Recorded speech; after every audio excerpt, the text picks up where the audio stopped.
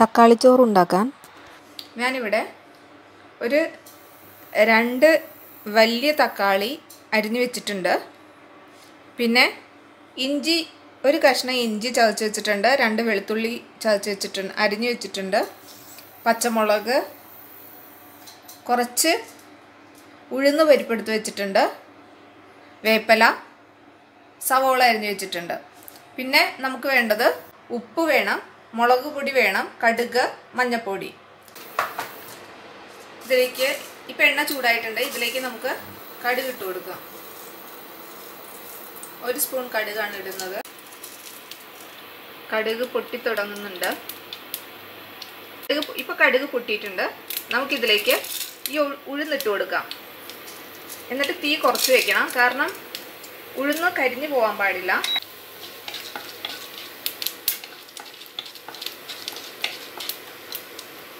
ഇതിലേക്ക് നമുക്ക് ഇഞ്ചിയും വെളുത്തുള്ളിയും ഇട്ട് കൊടുക്കാം.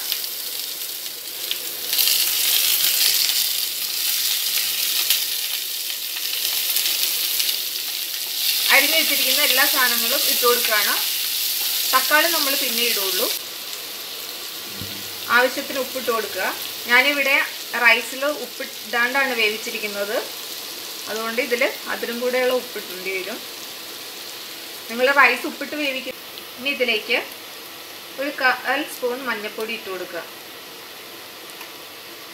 ഞാനിതിലേക്ക് ഒരു കാൽ സ്പൂൺ കാശ്മീരി ചില്ലി ഇട്ടിട്ടുണ്ട്. ഇനി ഒരു മുക്കാൽ സ്പൂൺ എരിവെള്ള മുളക് പൊടി. എരിവ് നിങ്ങൾക്ക് ഇഷ്ടത്തിനനുസരിച്ച് ചേർക്കാം. എനിക്ക് അധികം എരിവ് വേണ്ട. അതുകൊണ്ടിട്ടാണ്.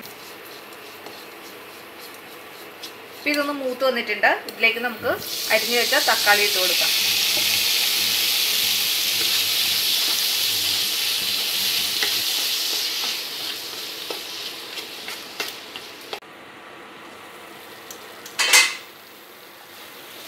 ഇപ്പം നമ്മുടെ തക്കാളിയൊക്കെ നന്നായിട്ട് വെന്തിരിക്കുന്നുണ്ട്.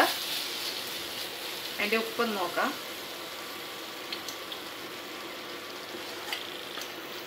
ഒരു ഉപ്പും കൂടെ വേണം.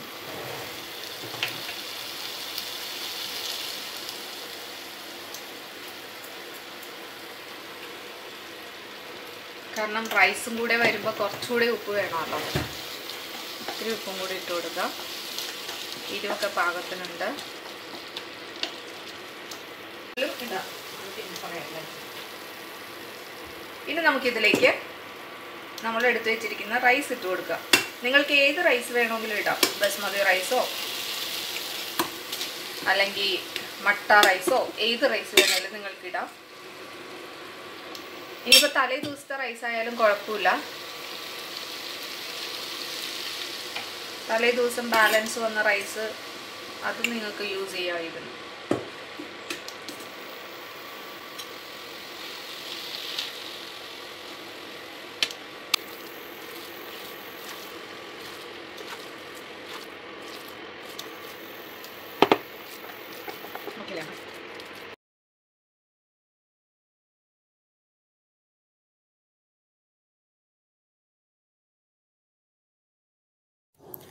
ഇഷ്ടപ്പെട്ടാൽ സബ്സ്ക്രൈബ് ചെയ്യുക ബെല്ലൈക്കൺ അമർത്തുക. Thanks for watching